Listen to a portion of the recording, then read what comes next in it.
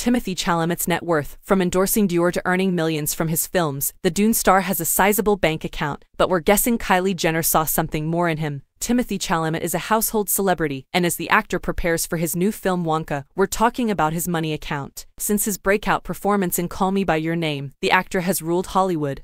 And he has worked in back-to-back hits. But do you know how much he's made from his projects and what his net worth is? So, read on for the juicy details. Well, apart from his acting career, Timothy has been hitting the headlines for his mushy love story with Kylie Jenner. While we still haven't wrapped our heads around that information, we are guessing that the fashion mogul saw something else in Chalamet than just a mere number at his bank.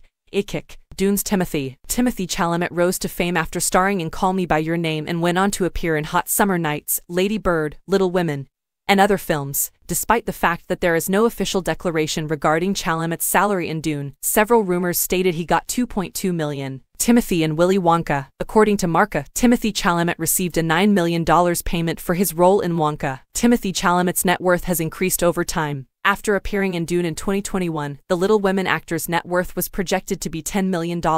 However, after two years, the actor's net worth skyrocketed, and he now possesses a whopping $25 million. Timothy's assets include According to Vanity Fair, Timothy just purchased a property on the West Coast that was previously owned by Kate Upton, with 1.5 acres and 5,521 square feet of living space. After haggling from the initial price of $11.7 million, the actor paid a stunning $11 million for it. Well, it seems Timothy is quite rich, but we guess Kylie Jenner's interest in him is something else, probably the organ in his body that starts with the letter D. Who knows? Their PDA is everything to prove that. But anyway, if you know, you know. Let us know your thoughts after learning about Timothy Chalamet's net worth.